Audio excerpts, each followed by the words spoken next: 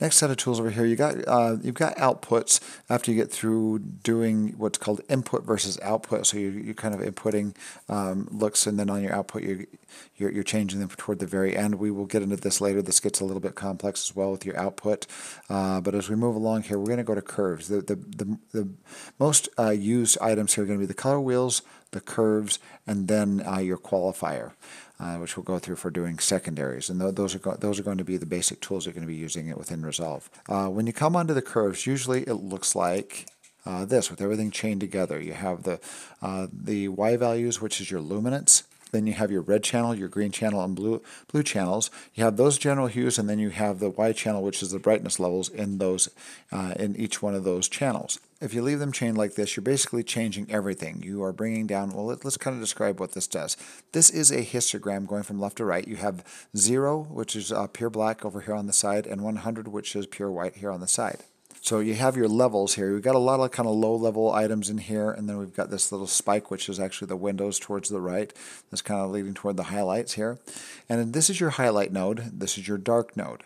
Now to control these things here, you can grab your dark node here and you can slide it to the right. If you slide it to the right, it's basically redefining your blacks. It's taking these things that are low lights and putting them down to your node. This is a redefinition of where your of where your darks go. Now those items that were once further up here are now defined as uh, right where that node is. If I bring this up here, now this uh, items, everything is crushed below that. Same as on highlights, is if I grab this and drag it over, it's redefining my highlights. It's bringing these highlights and crushing them and bringing them to this point right there. That window is being crushed uh, at that point right there. Now my detail is lost at that window. And if you drag this eventually all the way over, it's going to bloom out and destroy your image. And if you grab this and define everything as black, all these, these mountains in here as black, you're going to drag it down until everything's basically destroyed.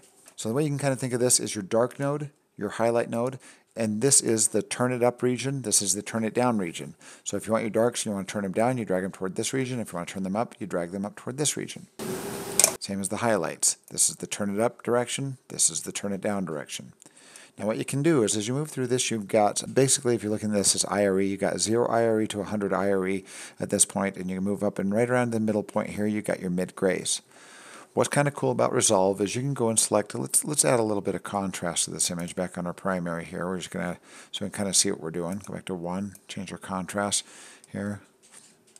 We're going to move back to our curves. On our curves here, uh, we can move up this line here. Or actually, we can take our uh, mouse up over the window and it turns when you're on the curves this will turn this into this little eyedropper. And you can say well I want to work I want to work on shadows that are about uh, this dark right here. This these aren't really super dark. I'm to click on that. I'm guessing it's going to be somewhere around like right here. Let's see if I'm right Yep, I was right. Uh, but you see a whole bunch of little nodes there. Right now I'm just we're operating on the on the white node. Uh, but what you see there is you see your red, blue, and green. If you, if you go to these channels as well, you see where your red, what the reds are, the values are in that point that I clicked on, a little high above the, the general luminance here. The green is a little bit below it, and then the blue and then the blue doesn't have a node, so those are actually those are actually pretty close to the bottom. So that actually, oh, that is that node right down there. So these are really low lights right now. They're they're almost at, at, at zero down there. So so you know that the blues are pretty suppressed in those shadows right there, and you have more prominent red shadows and green shadows in in those darker shadows. So if you're trying to change colors in shadows or highlights, that's how you're going to see this on your on your uh, curves here. But right now, uh, this node, I'm going to say I'm going to darken those darks by bringing them down, pushing them down a little bit, making them a little bit darker. But let's say I want to keep my highlights up uh, a little higher over here. Let's go up uh, maybe on this white wall right there, and I want to bring the highlights uh, right there up. And look at the contrast I'm creating with kind of this area being the pivot point there. I can bring these a little further up and make uh, more contrast. And this is what's called an S-curve here, is when you crush or, or when you darken the darks, high, uh, lighten the highlights without crushing the whites and the darks. You're leaving the whites and the darks absolutely alone, but you're doing a bit of contrast, doing kind of a contrast curve, which brightens the brights, darkens the darks, and you get this kind of contrast curve, and then you get a stretch on your entire image. And then you can see how contrasty it's kind of turning out here. You can see how just sliding this around, you get a lot of power over operating on the luminance levels of your image. Now, another thing you can do here is you can detach this and you can go to your red channel here and you can work on your red channel. And I had all these chains, so it was chaining all these things together. It was, I was changing the red values, green, or the white values. It was chaining the all the values together. So now when I go into red, the red has been moved with the with the uh, with the luminance levels. The green is the same, the blue is the same. Um, let's put this back to home here. Actually, I'm going to add contrast and put that on a different node here so I don't have to keep changing it. So add contrast to this image. I'll add another node, Alt S. I'm going to be getting into nodes up next episode. But on this episode, on this one here, I'm going to go to my curves. I'm going to uh, chain these together, but this time I'm going to say I'm just going to work on my luminance values. If I if I do uh, if I do a luminance change here, like I was showing before, do that S curve there, and now I go to my red channel, This is still the same. The green channel is still the same, and the blue channel, because they weren't all chained together. Now I have separate control over these items here. So let's say you want to balance the shot a little bit. Right now the reds and the greens and the blues, the blues are a little bit lower than the reds, and this is a warmer image as a result. So if I go to the, if I go to the blue channel and I bring it down, notice it's going to get warmer. If I want to uh, balance this level out, I'm going to bring the blues up a little bit and bring the greens up a little bit, or I could even just bring down the reds and get these all kind of balanced and my shot will look a little bit more color balanced right there and now my shot looks fairly like normal that looks like normal sunlight coming through because I've adjusted the the balance on these curves so you have a lot of control you have control over the luminance on the on the red channel green channel blue channel or you can link them all together or you can unlink them and just solely work with the luminance all right, let's go through some different curves here. We've got, um, let me put that back to the chain there. We've got under these little dots here, you move through these and you have different types of curves. You have hue versus hue, hue versus saturation, hue versus luminance, hue versus, or luminance versus saturation, and saturation versus saturation. Basically what this does is you look at the, the verses uh, here, whatever is the second one on this is the one that's being affected by what you select here. So probably easier to describe this. Let's go to hue versus saturation. So say we come up here, and uh, this is obviously, let's go to vector scope. Vector scope, this red is really, really bleeding right here, uh, almost all the way to the, the, saturation limits.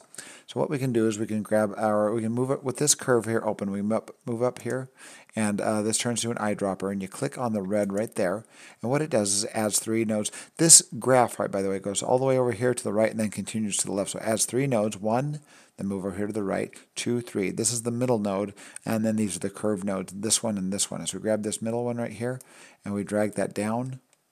Look what it does to the saturation within the red. It desaturates that red color that I chose. And you can widen the range of what it desaturates by moving this over and this over. And that widens the range of what's, and almost like everything's desaturated in there. Not everything, but uh, we still have kind of these colors right through here, but, but a lot has been desaturated. So let's reset that node there. Shift home will reset it. Once again, uh, let's try to do different colors. Not much other different colors in here. Let's try because faces are mostly red here if we select, select that. Uh, but now you can see this a little bit more. This is the, the midpoint right there. If we grab that and drag it down, look what happens to the face as I drag this down. It's desaturating the face. It selected the reds in the face in the face color there. Or you can boost it up and it boosts the saturation. Look what it's doing. And then you can widen the range by pulling these dots out to the left and to the right, like so. And look what it's doing on our vector scope, kind of freaking out there by widening that range of red and just blasting us with red there. So as we move down and we do the next one, well, we'll uh, let's go hue versus hue. If you choose a certain color of hue, that will change the hue of that hue that I just selected. If I grab this, it's going to go through the range. Look how it's circling it around uh, on my vector scope here, circling it around the, the vector scope as it's changing it to different colors, to blue, to magenta, wherever it's pointing on my vector scope, yellow, green, so on. It's not doing a great job, but, but you can see what it does. This is nice if you just need to shift a color just slightly. If you do it more extreme, you're going to get more noticeable. Look how it like spreads it out here and just rips it apart, and it just doesn't look good. Uh, but it is it is quite a powerful tool, and it's usually used for just doing uh, small hue adjustments. Shift home to put that node back to normal. Let's go to hue versus luminance. So we can choose once again the red, and we can grab the red and drag it down, and look what happens to it. It makes it darker, or it makes it lighter. So you can make it, usually brighten it up, and usually this is not meant for extremes. It's meant to just brighten something up a little bit or darken a, a certain color just a little bit. Lumen versus saturation. This is kind of a cool thing. If you want to get rid of the colors and the shadows, if you want to make the blacks look like they're they're they're black, like let's select the. Uh, let's see if we can find an image with more darks in it. Like right here, we can select, like we're going to have a very blue hue from these chairs. Let's go to the shadows here and just demonstrate uh, what you can do. And it selects that as the midpoint where I selected my darks. If we bring this down to the bottom there and there, it basically kills the blues in that, it'll kill the saturation in that area and that level of luminance.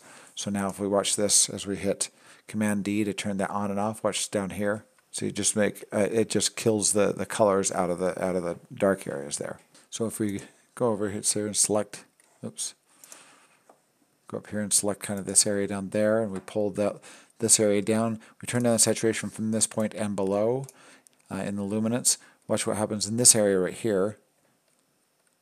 Turn that on and off. It's it's just killing some of the blue color in that area right there. It's very subtle, but but it's, it's killing off the blue in that area right there. Saturation versus saturation. Choose something that is very saturated here.